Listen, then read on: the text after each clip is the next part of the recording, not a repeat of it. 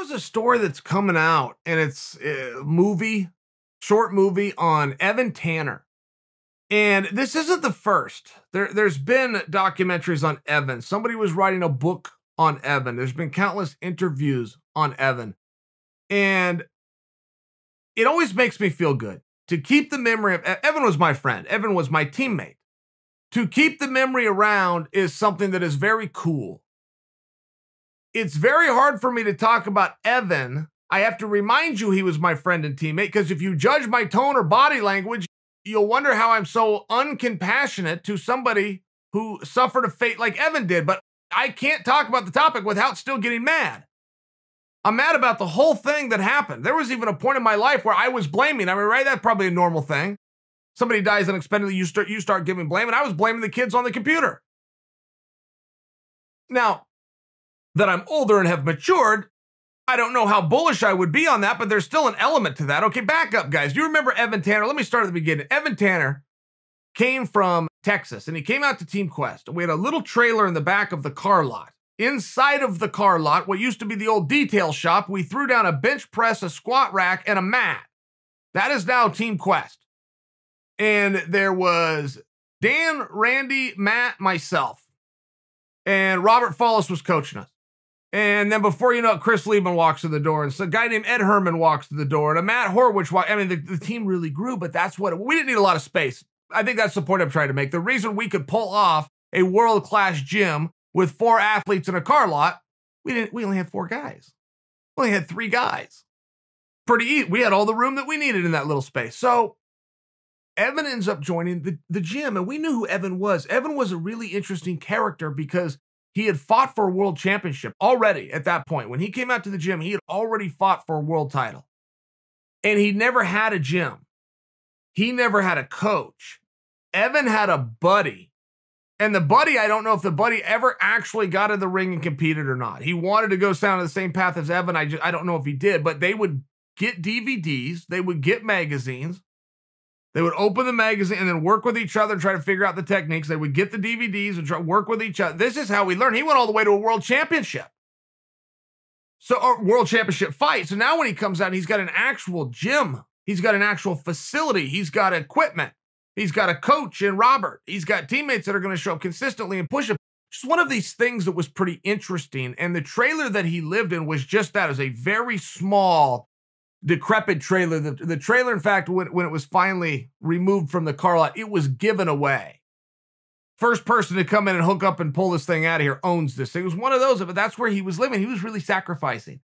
And he started to win some fights and he went all the way to a world championship, not just a championship fight. He won the damn thing. He's got the belt.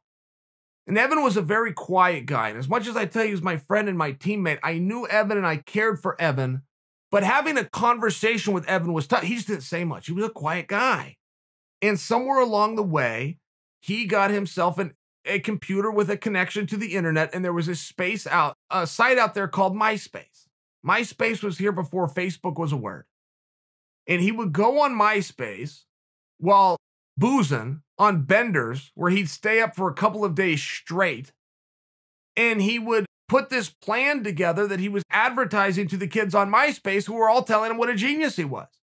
And he explained his plan to me at one point where he was going to get a house. He was going to put nothing but walls and cubicles in the house, fill it up with guys. They were all going to dress the same. He had a vision. He had a vision that every morning at 8 a.m., the garage door opens and in single file, these 16 athletes come running out and they run to a gym and he was talking to the owner of the gym he was taking steps to make this happen that, they, that the gym owner would give them all memberships and they would help to promote the gym in some fashion when they when they make it and they're fighting on TV. Okay, but he had this whole thing lined out. He was talking to restaurants in town where they could all come in as a group, all dressed in their gray sweat tops and sweat. He explained the whole thing to me. They would eat, sleep, train, do everything. Again, I'm going, Evan, man, to me, that sounds like a cult. This is, I don't like this idea. This is weird. There's gyms all over the place. Why do all the guys got to live together? Guys are living wherever they're living now, and then you drive to the gym. I just, I don't understand the concept. It seems a little bizarre. But he would stay up and it'd be at like two and three and four in the morning. He'd be laying out this plan and he'd had people trying to sign up and, and, and send in their application, why they need this and how this could change their life and all these great things. So now he was feeling compelled and noble about it. And this was the pursuit that he was going on. And Evan owed everybody money, and Evan was always good for it. He would all he go have a fight, he would be broke, but he would pay everybody back.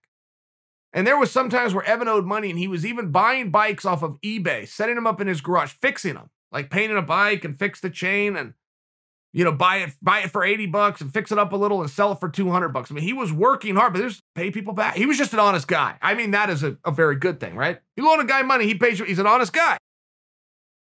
But he was also always behind. He liked to gamble a little bit and he was into the drinking. And I remember when he would send these things out on MySpace because they would be time stamped. You could see when he sent them out. You could follow the timeline. Go, Evan, there hasn't been a two hour window here in the last three days where you've not posted something. Have you not slept in three days? And he finally gets this wild idea that he is, and this is a quote, going to get on his motorcycle and drive so far into the desert that one mistake could cost him his life. That's a quote.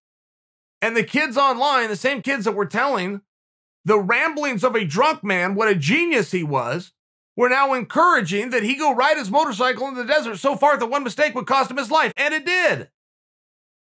It did. If you have any story that starts that way, I'm going to go do something and I'm going to do it to the extreme that it could cost me my life. How about not doing that thing? Why would anybody encourage you to do that? And what kind of odyssey are you on? What kind of walkabout is it that you need to drive a motorcycle into the desert? The whole thing's weird. What if I what if I did that, guys? What if I disappeared for a few days and I come back and I tell you guys what I did? What if I never did it? Who would know? Why do I actually have to go into the desert to tell you what it was like to sleep in the desert amongst a rattlesnake? And be in the, the hot sun all day? Why would I need to do that? What was it to be gained by driving into the. De- what the hell's in the desert? It's just hot. Go get in a sauna. What is it you were looking at? You weren't looking to visit with anybody. Nobody was out there. And why would you have to go so far into it? What changes in the de- what changed in the first five steps of that desert between the sun and the sand and the cactuses that was different 500 miles into it by the time he runs out of gas and can't get back? What was different? It was amongst the dumb ideas ever. Which is why when I hear these Evan stories come out and nobody calls it for what it was, I feel as though you're disrespecting my friend and teammate. If there's anything that we need to gain by the Evan Tanner story, sometimes it's what not to do. And when I hear this story get sensationalized by total strangers as a way of showing a respect to Evan, there's something nice about that. There's something kind about that. But to disrespect Evan by trying to glamorize one of the more foolish things that you could ever do in the first place, the most foolish thing that he ever did. He never came back. In trying to tell the story that way, that this was some kind of a young man on a journey to change his life. That's not what happened. My buddy got drunk and did something stupid, and it cost him his life. That is what happened.